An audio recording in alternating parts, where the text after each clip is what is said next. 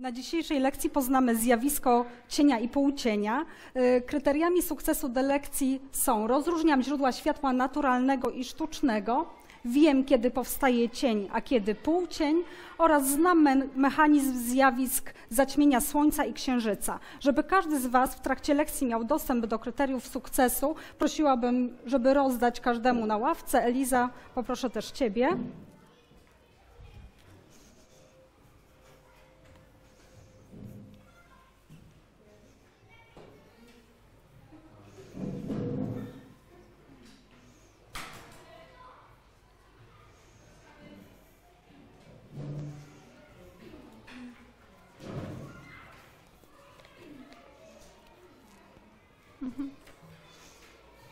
Dziękuję. Dobrze. No to zaczynamy. Na początek pytanie kluczowe. Ile cieni może rzucać człowiek? Zastanówcie się przez chwilę i odpowiedzi zapiszcie na metodnikach. Ile waszym zdaniem może rzucać cieni człowiek? Ale w jednym momencie, czy... Cztery? Zastanówcie się, odpowiedź dajcie. 12, albo wtedy są cztery. No bo, a nie cztery jak te wszystkie te. Cztery. Jeden. Zapisujemy już odpowiedzi na metodnikach. Jeszcze nie.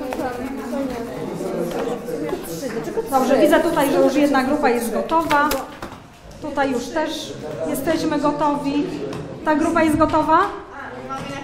Tak, piszemy na metodnikach. Ile waszym zdaniem może rzucać cieni człowiek? I tutaj ta grupa jest już gotowa, tak?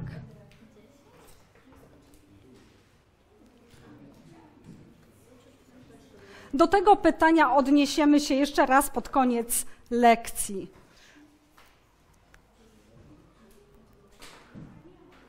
Ok, jesteśmy gotowi? Tak, ostatnia grupa? Dobrze. No to zadanie na dobry początek, żeby przypomnieć sobie wiadomości z poprzedniego działu i z y, lekcji przyrody. Proszę otworzyć kopertę. Tam znajdują się definicje i pojęcia, które połączycie ze sobą. Uwaga, do jednej definicji może być dopasowane więcej niż jedno, do jednego pojęcia może być dopasowana więcej niż jedna definicja.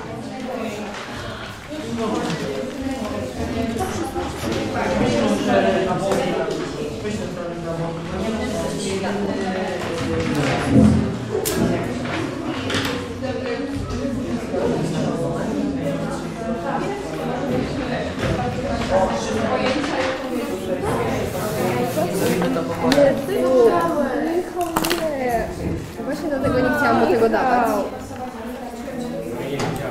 Dosypujemy. Nie możesz rozerwać kopertę, nie ma problemu. Tylko żebyś nie rozerwał. Dlatego nie daje się Michałowi takich rzeczy.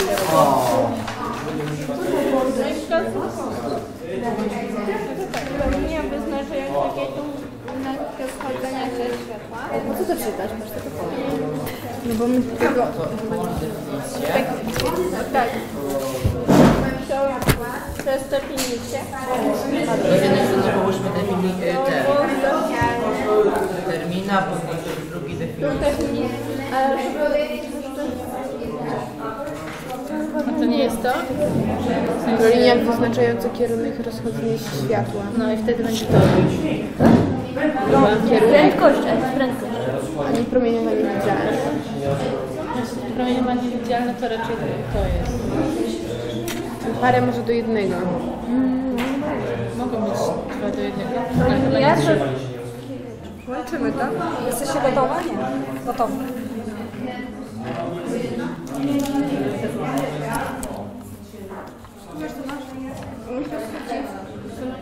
No, na pewno nie to, bo to jest nawet... Źródłem światła jest falą elektromagnetyczną. A nawet nie pasuje do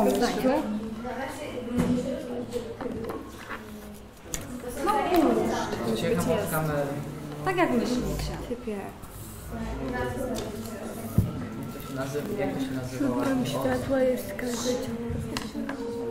A to jest Proszę, chyba nie wnikam. Dobrze, jeszcze minuta tego nie ogarniam, nie wiem, To, to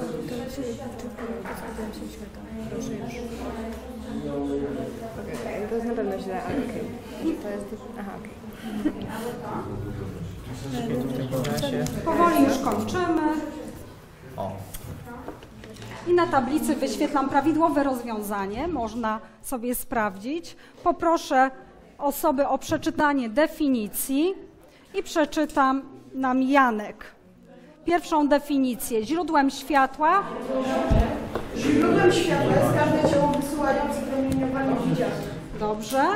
Kolejna osoba, Iza, przeczyta nam drugą definicję. Promieniowanie widziane jest falą elektromagnetyczną, rozchodzi się w próżni. Mhm. Kolejną definicję przeczytam Marysia Koziara. Prędkość światła 300 tysięcy km na sekundę. Kolejną definicję Wiktoria. E, To jednorodny lub niejednorodny ośrodek, w którym rozchodzi się światło. Mhm. I ostatnią y, definicję przeczyta nam Mateusz Dominiczak. Promień świetlny to wąska wiązka światła, to linia wyznaczająca kierunek rozchodzenia się światła.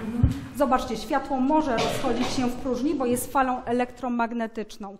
O tym mówiliśmy w poprzednim dziale. Yy, I rozchodzi się z prędkością 300 ki- tysięcy kilometrów na sekundę. Dobrze, możemy sobie na bok odłożyć gdzieś te definicje, żeby nam nie przeszkadzały do, w kolejnym zadaniu. Można schować do koperty albo odłożyć gdzieś z boku, żeby nam nie przeszkadzały.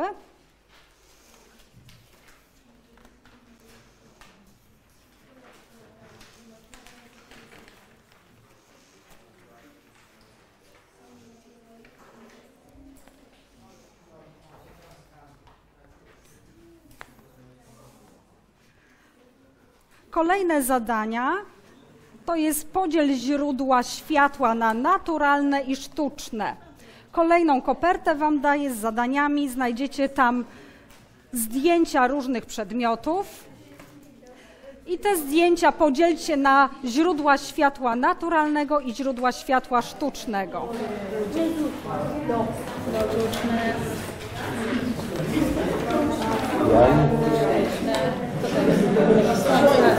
Słońce, nie widziałam. To tutaj jest? To jest smak. To jest naturalne, to dobra. To jest sztuczne. To jest naturalne. Meduzie.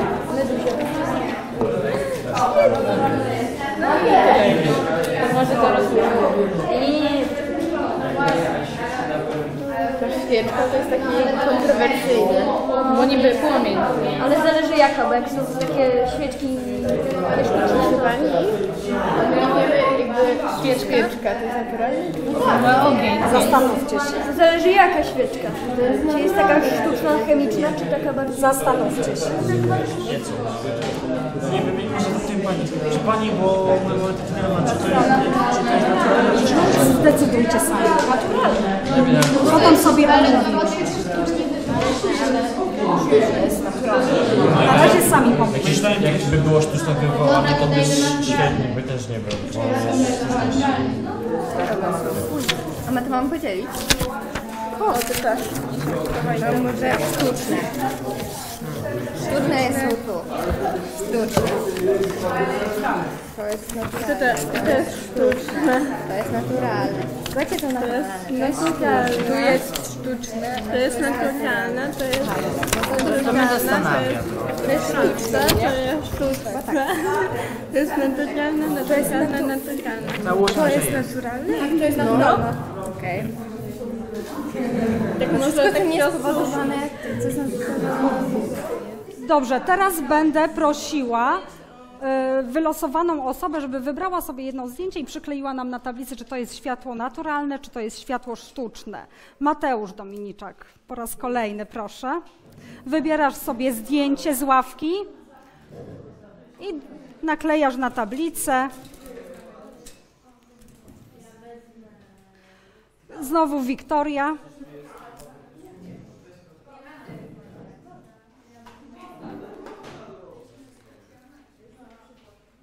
Kuba.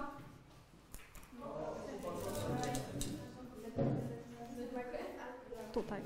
Gosia.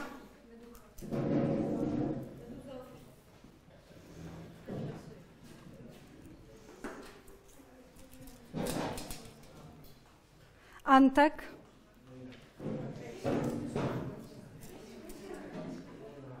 Iza.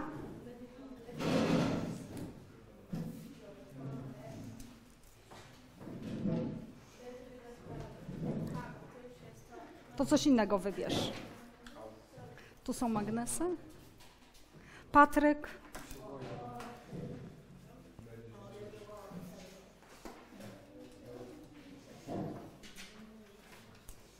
E, Mateusz e, Ma- Malinowski.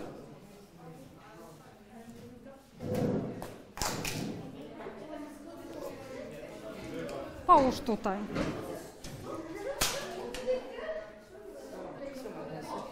Tutaj. E, Michał Krasnodębski.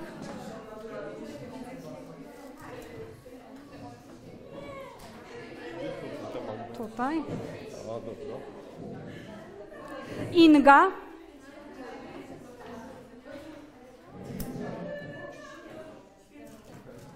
E, Druga Wiktoria.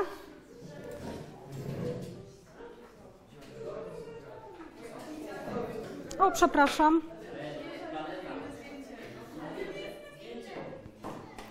Tak, żeby zdjęcie się nie powtarzały. Już jest. Michał. Michał. Wybierz zdjęcie, którego jeszcze nie ma.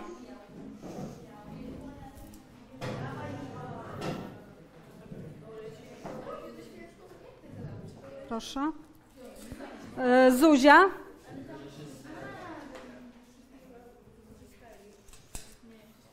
Natalia.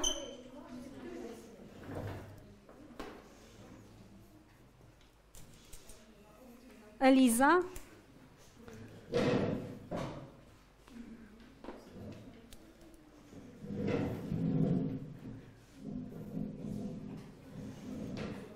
Przepraszam, proszę. Czy jeszcze nam czegoś brakuje? Chyba już. A. Okej, Olek.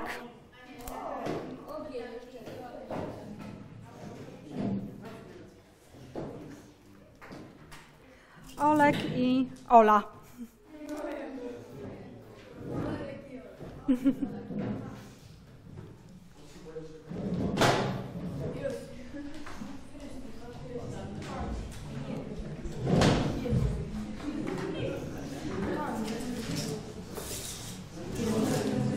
No dobrze, czy wszyscy zgadzają się z tym podziałem? E, To kto ma inną koncepcję, ręka do góry i teraz proszę osoby, które się zgłaszają. Eliza, No bo chyba kot to raczej nie sztuczny, a gdzie byś dała? naturalny. Do naturalnych. Czy jeszcze ktoś by przeniósł kota do naturalnych? Tak, większość. No to przenosimy kota do naturalnych. Czy ktoś jeszcze ma inną, inny pomysł? Wiktoria? Ogień do naturalnych? Ogień do naturalnych. Czy jeszcze z czymś się nie zgadzamy? Świeczka. Świeczka? To też ogień. Naturalne składniki, balsamat. No ale świeczka sama w sobie jest sztuczna. No dobrze, z tą świeczką mamy problem, tak? Czy to jest źródło światła naturalnego czy sztucznego? Co to jest światło, źródło światła naturalnego? Źródło światła naturalnego to jest takie źródło, które nie jest wytworzone przez człowieka. Świeczka będzie sztucznym czy naturalnym? Sztucznym, wytworzone przez człowieka. Czy jeszcze coś byśmy zmienili? Ognisko. Ognisko jest światłem. Ale czasami lasy się same podpalają. Ognisko mamy na zdjęciu. No właśnie. Ale mamy tu ognisko na zdjęciu, tak? Ognisko jest sztuczne. E, no i pytanie, czy księżyc jest źródłem światła? E, proszę. Nie jest. Dlaczego nie jest? Bo słońce odbija jego promienie. Bardzo dobrze. Księżyc nie jest źródłem światła. Księżyc świeci światłem odbitym.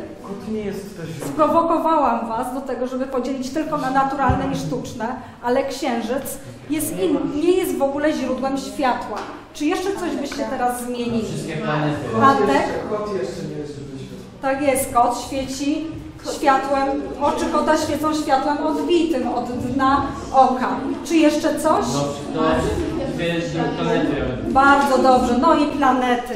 Mamy Mars, mamy Wenus. I to wszystko. I teraz się zgadza. Zobaczcie, mamy źródła światła naturalne i sztuczne. Definicja źródeł naturalnych to są takie, które nie są wytworzone przez człowieka, sztuczne takie, które wytworzył człowiek. No i mamy jeszcze yy, obiekty, które nie świecą własnym światłem, tylko światłem odbitym. No dobrze, stop klatka. I mamy pytanie. Dlaczego zostałeś poproszony, aby się tym zająć? Zuzia nam odpowie. Dlaczego zostałaś poproszona, aby się zająć tym zadaniem, które przed chwileczką wykonaliśmy? Żeby wiedzieć, jakie, jakie źródła światła są naturalne, jakie sztuczne. Bardzo dobrze. Mhm, dziękuję. I przechodzimy do kolejnego pytania. Co już wiemy? Iza? Co już się dowiedziałaś na lekcji? Na jakie rodzaje może dzielić się światło i no, jakie mogą być te przykładowe To na jakie rodzaje dzielimy światło? naturalne, sztuczne i takie, które się odbija od I takie, które nie są źródłami światła, ale świecą światłem odbitym. Dobrze. No i przechodzimy do doświadczenia. Y, Zaraz Wam rozdam karty pracy. Y, Każdemu proszę w grupie rozdać osobną kartę pracy. Zdjęcia możemy schować do koperty. Dla każdego jest osobna karta pracy. Dla każdego jest jabłko, które możecie zjeść po lekcji. Tak? Mhm.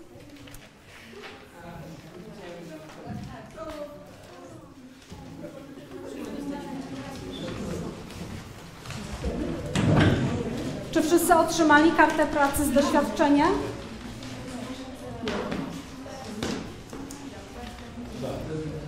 Komuś zabrakło? Nie, wszyscy mają. Y, To jeżeli chodzi o doświadczenie, Igor, przeczytaj nam, jakie materiały są nam potrzebne. E, Białą kartkę kładziemy na blacie ławki. Na razie materiały.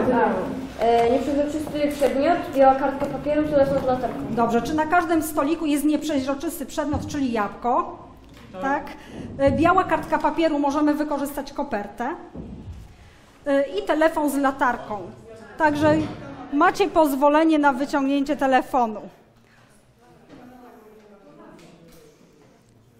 I teraz już pracujemy y, w grupach. Przebieg doświadczenia, czyli na białej kartce papieru ustawiamy nieprzeźroczysty przedmiot i oświetlamy latarką.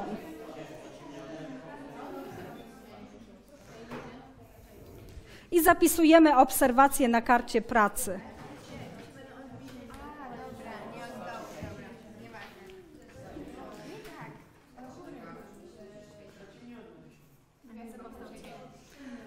Na karcie pracy uzupełniacie obserwacje.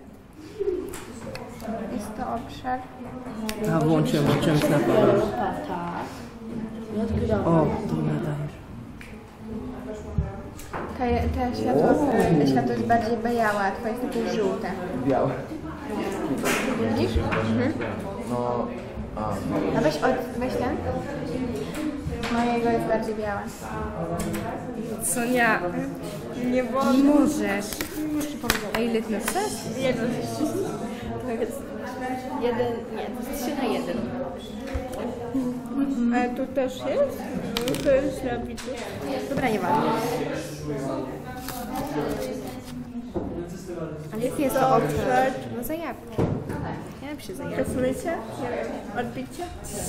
Poproszę teraz się robi ten cień? y, Wiktorię Wachowicz, żeby nam przeczytała zdanie, które należało uzupełnić na karcie pracy. Na kartce powstał. Cień jabłka. E, Jest to obszar e, zaciemniony. Jest to obszar zaciemniony. Yy, Michał Krasnodębski, jak wy zapisaliście? Na kartce powstał cień jabłka. Jest to obszar, gdzie nie dociera światło latarki. Mhm, bardzo dobrze. Yy, czyli jest cień, jest to obszar, do którego nie docierają źródła światła. I przechodzimy do części drugiej doświadczenia. Wyciągamy drugi telefon komórkowy i oświetlamy nasze jabłko dwoma źródłami światła. No i co? Chybacie. O, zróbmy z dwóch stron. O, No, hello. ma... It's me. Pełdar. Dwóch cieni. Na kartce widzimy obszary. Obszary? Dwa obszary. No już. Przed dwóch cieni, dwóch zaciemnień. Co? Nie wiem. Dwóch cieni. I staramy się uzupełnić kartę pracy. To już zrobiono to świadczenie, tak? Tak, zrobiona. Myślimy. Jak to? Myślimy. A co? No, dwóch cieni. Albo dwóch zaciemnionych.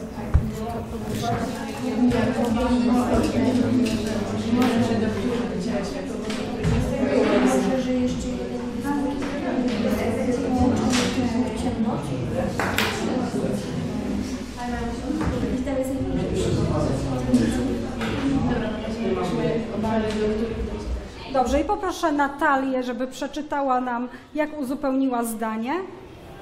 E, Na kartce widzimy obszary, na których bardziej e, dociera światło i mniej. Mhm, Okej, jeszcze poprosimy jakąś osobę. E, Antek. Na kartce widzimy obszary, dwa zaciemnione obszary. Mhm. Jeszcze coś doda chcesz dodać? Ja mam tak napisane, że dwa zaciemnione obszary. i- Dwa zaciemnione obszary. No to może jeszcze jakąś osobę wylosujemy. E, Marysia Koziara. E, Na kartce widzimy obszary dwóch cieni. Widzimy obszary, nie dosłyszałam? Dwóch cieni. Dwóch cieni. Mhm. Możemy zobaczyć na y, kartce obszar ciemniejszy i dwa obszary jaśniejsze. Ten obszar ciemniejszy, który powstaje, tak, widzimy go tam w środku, to jest cień, a te dwa jaśniejsze obszary to są półcienie. Tak, jaśniejsze obszary to są półcienie. No i definicja cień to obszar, do którego nie dochodzą promienie świetlne, a półcień powstaje, gdy przedmiot oświetlony jest więcej niż jednym źródłem światła i to obszar, do którego docierają tylko promienie z części źródła światła. Czyli w jakim miejscu lekcji teraz jesteśmy? Co już wiemy? No i zaraz. Iza. Co już wiemy? Drugi raz odpowiadasz na to pytanie. No to wiem, że e, aby powstał cień, muszą się składać na siebie dwa półcienie. Żeby powstał cień, muszą się składać dwa półcienie, możemy tak powiedzieć. Zuzia, Co to cień i półcień? już wiesz, co to jest cień i półcień. Mhm. Co będzie naszym kolejnym krokiem? Popatrzcie na kryteria sukcesu, które dostaliście. Yy, Michał. Michał Krasnodębski. Ym, dowiemy się, jaki jest mechanizm zjawisk zaćmienia Słońca i Księżyca. Bardzo dobrze. Kolejny etap lekcji to jest poznamy zjawisko zaćmienia Słońca i Księżyca. I będziecie pracować w grupach eksperckich. Po y, pięciu minutach wymienicie się doświadczeniami z grupą obok. Czyli trzy osoby z jednej grupy przejdą do drugiej grupy i podzielicie się wiedzą, którą przeczytacie, która jest w kopercie. Wyciągamy rzeczy z koperty. Mamy tam analizę tekstu. Niektóre grupy czytają o zaćmieniach Słońca, inne grupy czytają o zaćmieniach Księżyca.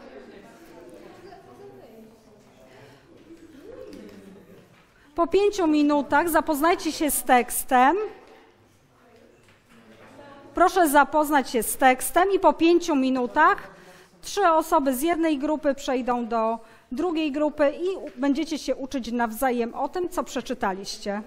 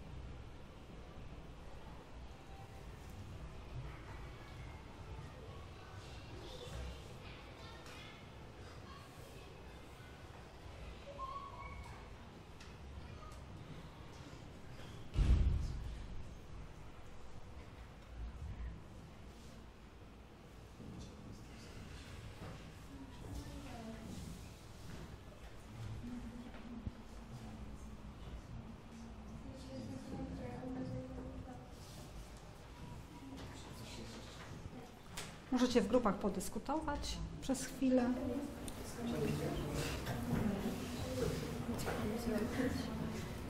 Za chwileczkę będziecie się wymieniać i uczyć grupę, która nic miała o zaćmieniach, e, wy mieliście o zaćmieniach e, Słońca, oni mają o zaćmieniach Księżyca, wymienicie się i będziecie się wzajemnie uczyć. Wy opowiecie o zaćmieniach Słońca, a oni o zaćmieniach Księżyca.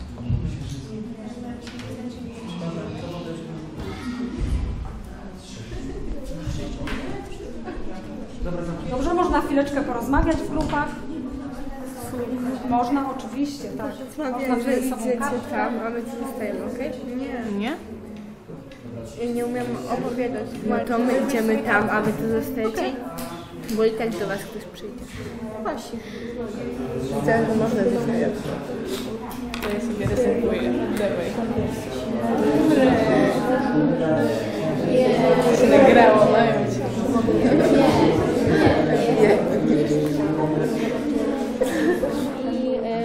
księżyca w pełni. Tak. No, zaćmienie księżyca występuje rzadziej niż słońce. Bo to nie będzie pełni księżyca. No ale będzie zaćmienie. Księżyca.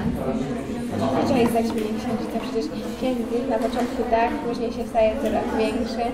Można, tak. Czy mi się wydaje?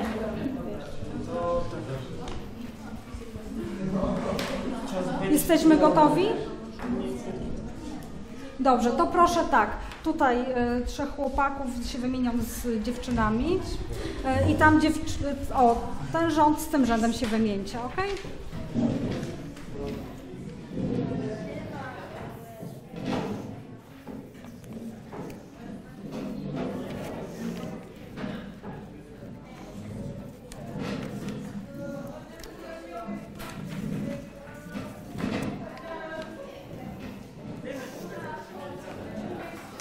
Zostawię Wam też kartki, żebyście mogli omówić sobie.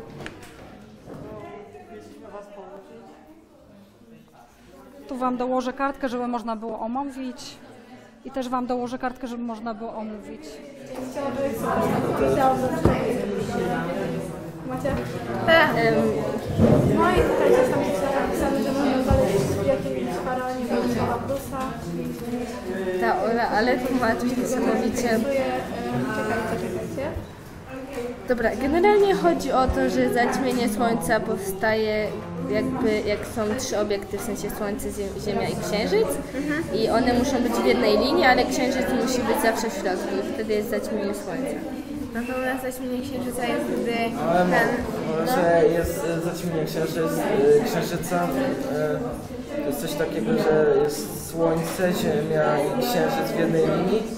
Księżyc jest e, e, z, Z lewej na z przykład, lewej, a albo słońce z prawej, a w środku jest w ziemia. środku musi być ziemia.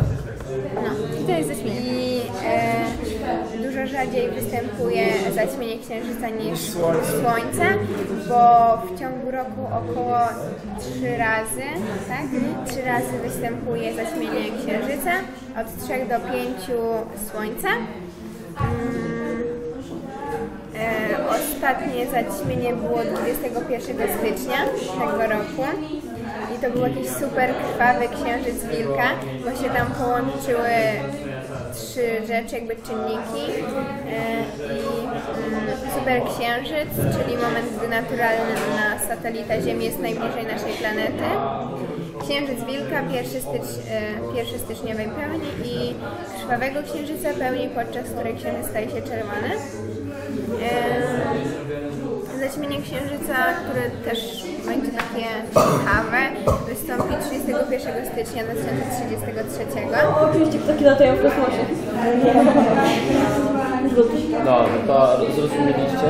Tak. Jakby, tak, ale ten, y, ten naleśnik Ziemia jest taki e, tylko trochę mniejszy od naleśnika Słońca. Znaczy, bo przez to, że Słońce jest dużo dalej od Księżyca, to Księżyc się może wydawać A, czyli większy. Słońce jest naleśnikiem, które upadło dużo niżej.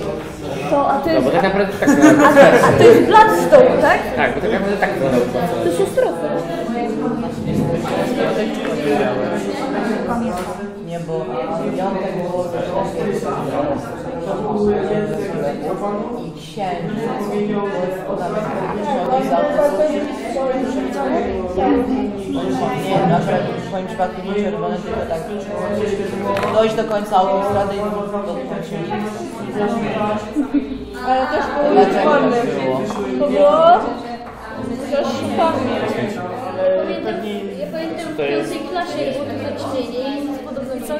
Nauczyliście się już wzajemnie? Tak. Zaćmieniać słońca i Nie, jeszcze teraz oni będą nas. Jeszcze my musimy. To on robił, żeby pokazać taki silny. Tutaj jesteście już gotowi? Czy jeszcze potrzebujecie? A ty na pewno będziemy coś mówić o tym? Zobaczysz. tak? Jesteście gotowi? Tak połowicznie. Połowicznie. No to jeszcze chwilę macie. To jesteście gotowi już? Tak. Tak? A tu jesteście A ile średnio na rok przypada zaćmieniu księżyca? Mniej niż Słońce. Słońce chyba 5. Y, Zaćmienie księżyca to takie wyjątkowe zjawisko astronomiczne, tak? Więc, Ostatnie pół minuty. e, no, to jest Słońce, a to, to jest Ziemia. Tak, to też wiemy, tu gdzieś jest kosmos, są gwiazdy. Więc tak, więc jakby tu są takie, tu są takie paski, tu są takie paski i one, one ci pokazują, nie? No. No tak, promienie Ale co najważniejsze, to jest to, że No dobrze. jest ważniejsze od To przechodzimy dalej. Bo jest rzadsze. Proszę już teraz o uwagę. Pytania do tekstu. Które zjawisko występuje częściej? Zaćmienia Słońca czy Księżyca? Eliza. Słońce? To jest pytanie czy odpowiedź? Czy ktoś y, ma inne zdanie? Księżyca. Dobrze odpowiedziała Eliza. Tak, zaćmienia Słońca występują częściej. E, Drugie pytanie. Które zjawisko łatwiej zaobserwować? Zaćmienia Słońca czy Księżyca? Igor. E, łatwiej zaobserwować zaćmienie Słońca. Dlaczego? Bo e, jest w dzień. Bo jest w dzień. Czy ktoś ma inne zdanie? Eliza? Moim zdaniem. Dlaczego? No tak, bo jest ciemno, a to jest takie jasne. Nie widać. Myślę, że musicie sprawdzić jeszcze raz odpowiedź e, w tekście. Igor? Myślę, że jeszcze raz trzeba odpowiedź sprawdzić w tekście, ale to pod koniec e, zajęć, dobrze? Moim zdaniem, moje subiektywne Dobrze. Do jakich celów używano zaćmienia słońca w dawnych czasach? E, Wiktoria Wachowicz. No to na przykład na tej karcie, tekście mieliśmy e, przykład taki, że no Bolesław Prus w, e, w swojej powieści Faraon opisał na przykład jak jakiś kapłan udawał, sensie z ukrycia powiedział, że coś tam, coś tam ludności powiedział, udawał Boga i wtedy akurat słońce właśnie się zaćmiło, no i ludzie wpadli w panikę. Mhm. Czyli do jakich celów było Do używane? manipulacji. Do manipulacji ludzi. Mhm. Kolejne pytanie. Wymień rodzaje zaćmień słońca. Michał, jakie rodzaje zaćmień słońca znasz?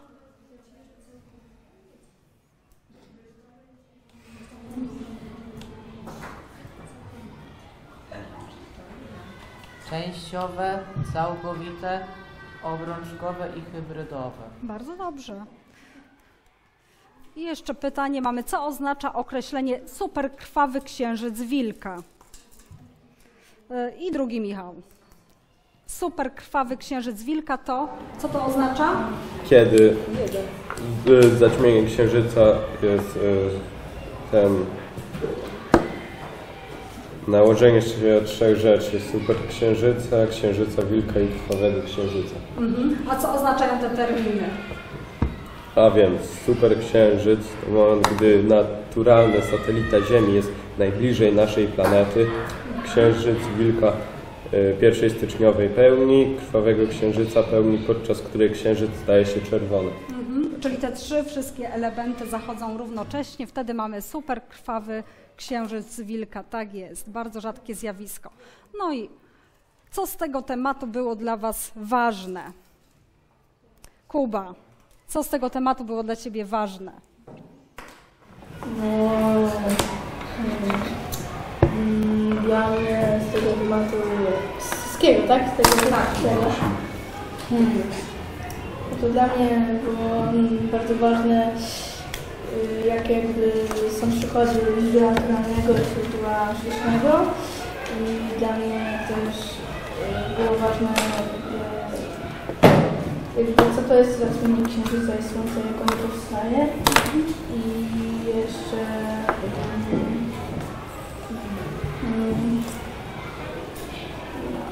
i jeszcze to doświadczenie z tym wiankiem, mm, jak podało wyliczenie, że są Co powstawało wtedy? Dwa, Dwa półcienie, cień i dwa półcienie. Mhm. I jeszcze na to pytanie odpowie nam Karolina. Mm, No to dla mnie ważne było na przykład mm, ten eksperyment. Mhm. Dlaczego? Bo można było jakby na podstawie tego eksperymentu zobaczyć, a nie tylko na przykład przeczytać, tylko na własne oczy zobaczyć te Mhm. dwa półcienie jakby. No. Okej, dziękuję. No więc wracamy do pytania kluczowego, które zadałam na początku lekcji. Ile cieni może rzucać człowiek? Patryk. Gdzie jest Patryk? Tutaj. Nieskończenie wiele? Nieskończenie wiele. A co wcześniej zapisałeś na swojej kartce? Jako grupa wszyscy, że nieskończenie wiele. Że nieskończenie wiele. Zmieniasz odpowiedź? Nie. No to jeszcze poprosimy Franka. Tutaj Franek. napisaliśmy, że trzy. Że trzy. A dlaczego wtedy napisaliście, że trzy? No bo nie, nie odróżnialiśmy tu cieni, cieni i Mhm. no teraz. A teraz jakbyś odpowiedział na to pytanie? Że jeden cień Jeden, jeden cień i można rzucać człowiek więcej półcieni, tak? Dobrze, czyli człowiek rzuca jeden cień, ale powstają również półcienie. A ile półcieni może powstać i od czego to zależy? Olek. W zależności od padania światła? Od y, padania Ilości. światła czy Ilości.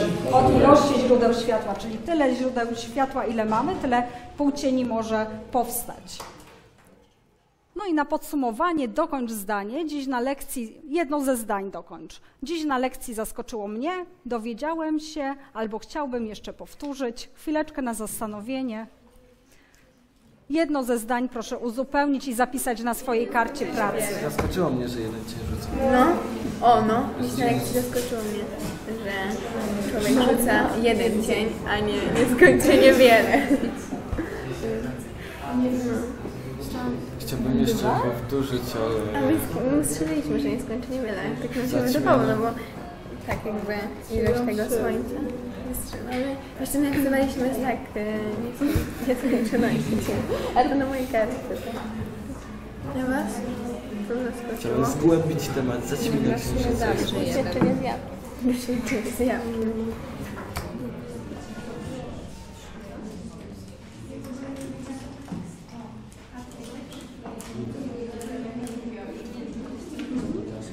Dobrze, i poproszę Janka, żeby powiedział, co zapisał. Dziś na lekcji zaskoczyło mnie, jak zachodzi zaćmienie słońca. Mhm. Dobra, jeszcze jedna osoba. Karolina. No to mnie zaskoczyło, że księżyc nie świeci własnym światłem. Mhm. Okej. Ja Wam dziękuję. Na zadanie domowe będzie wklejenie celów, y, celu lekcji, kryteriów sukcesów oraz karty pracy do zeszytu, ale to zrobicie w domu. Dziękuję bardzo, do widzenia.